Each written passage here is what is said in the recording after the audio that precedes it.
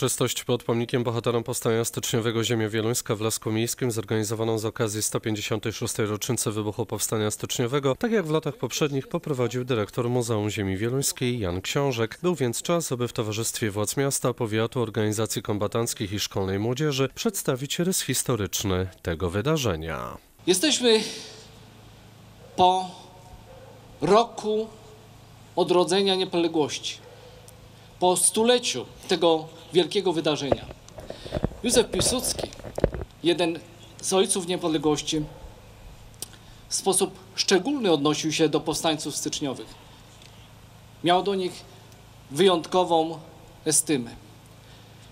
Józef Piłsudski pisał utwory, które związane były z powstaniem styczniowym, ale przede wszystkim nadał kombatantom powstania styczniowego pensję dożywotnią, a także ustanowił mundury kombatantów powstania styczniowego. Dzisiaj jesteśmy tutaj, by upamiętnić bohaterów sprzed 156 lat.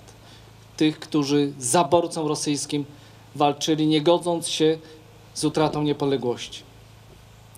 Czcimy tych, którzy byli się na ziemi wieluńskiej, dla nich przelewali krew, dla nich byli skazani na wieloletnie, czasami dozgonne wysyłki na odległy Sybir. Mówimy o tych, którzy właśnie tutaj, w tym miejscu, byli zamordowani w tych miesiącach powstania styczniowego na przełomie 1863-1864. Szereg trudniejszych bitew i potyczek Powstania Styczniowego miała miejsce na terenie ziemi wieluńskiej, m.in. pod Kuźnicą Grabowską, dzisiejszy powiat Strzeszowski, pod Praszką, Rychłocicami, Radoszewicami, Lututowem, Rudnikami i Świątkowicami. Często e, słyszę pytanie, dlaczego e, spotykamy się pod różnymi pomnikami, pod różnymi miejscami pamięci, by składać kwiaty i składać e, znicze. Nie jest, nie jest to, to dlatego, że lubimy niskie temperatury i w tych niskich temperaturach chcemy spędzać czas na powietrzu.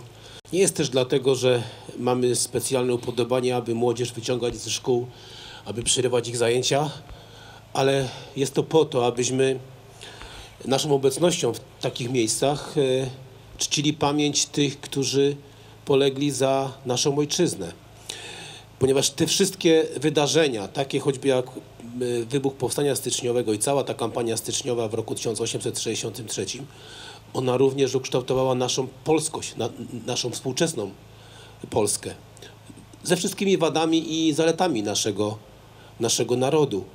E, Stąd nie możemy o takich dniach, o takich datach, o takich miejscach zapominać, po to, aby za 150 lat nie zapomniano o czasach współczesnych, które również tworzą historię do następnych pokoleń.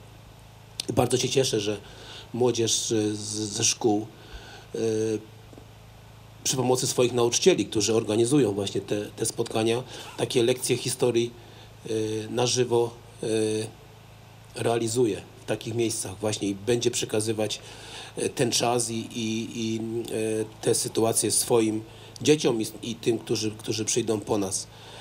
Dziękując wszystkim Państwu za przybycie na, to, na tą dzisiejszą uroczystość. E, Cześć i chwała bohaterom. Wieczna pamięć poległych. Słowa, które przytoczył pan dyrektor, słowa marszałka Józefa Piłsudskiego są jakby najlepszym komentarzem do dzisiejszej uroczystości, do dzisiejszej rocznicy. Jak powiedział pan dyrektor, obchodziliśmy, obchodzimy ciągle stulecie niepodległości naszej ojczyzny. Radujemy się, cieszymy się z tego, że Polska nieprzerwanie, mimo różnych kolei losów, trwa już 100 lat.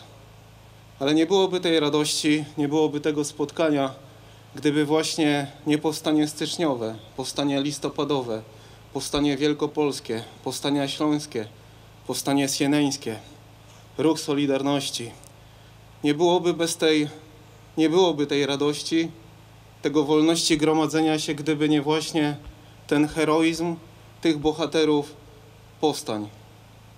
Dzisiaj mamy rocznicę powstania styczniowego i musimy być świadomi tego, że Ci młodzi ludzie, niejednokrotnie bardzo wykształceni, majętni, stawiali wszystko na jednej szali.